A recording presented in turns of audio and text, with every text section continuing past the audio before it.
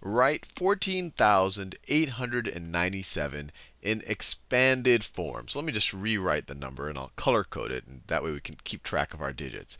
So we have 14,000. So 1, yeah, I don't have to write, well, let me write it that big. 14,000, 14,800, 800, and 90 and 97. See, I already used the blue. Maybe I should use yellow. And 97 in expanded form.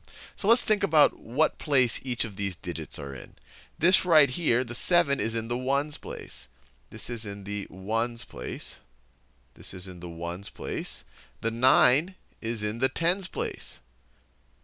The 9 is in the tens place. This literally represents 9 tens. And we're going to see this in a second. This literally represents 7 ones. The 8 is in the hundreds place. This is in the hundreds place. The 4 is in the thousands place. It literally represents 4,000. So this is in the thousands place. And then the 1 is in the ten thousands place.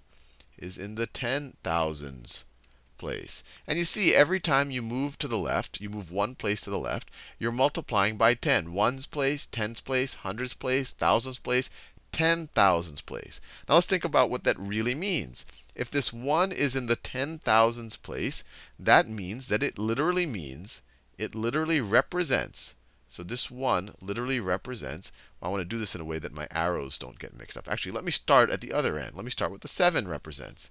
The 7 literally represents 7 ones. 7 ones. Or another way to think about it, it also, you could say, it represents 7 times 1. All of these are equivalent. It represents 7 ones. Now let's think about the 9. That's why I'm doing it from the right, so that the arrows don't have to cross each other. So what does the 9 represent? It represents 9 tens. You could literally imagine you have 9 actual tens. You could have a 10 plus a 10 plus a 10, do that 9 times. That's literally what it represents 9 actual tens. 9 tens. Or you could say it's the same thing as 9 times 10, or 90, either way you want to think about it. So let me write all the different ways to think about it. Or 90. It represents all of these things 9 tens, or 9 times 10, or 90. So then we have our 8. Our 8 represents, we see it's in the hundreds place, it represents 8 hundreds. 8 hundreds.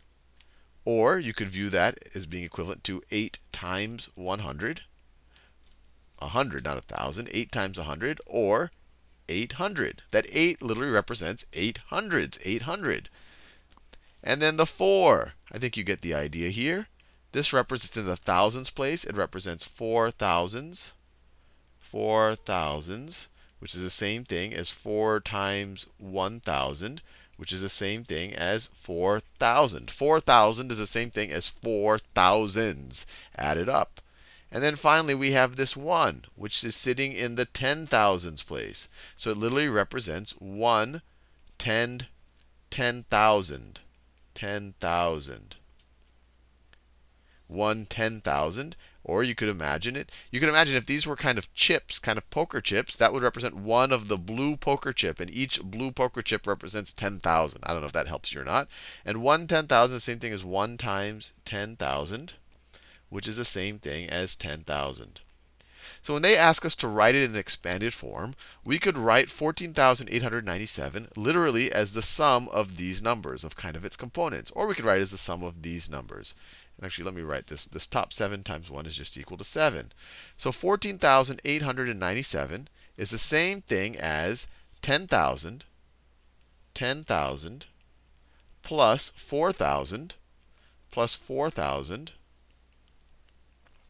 plus 800, 800 plus 800 plus 90, that's the 90, or 90 plus 90 plus 7 plus 7. So you could consider this expanded form, or you could use this version of it. Or you could say this is the same thing as 1 times 10,000, depending on what people consider to be expanded form, plus 4 times 4 times 1,000 plus 8 times 100.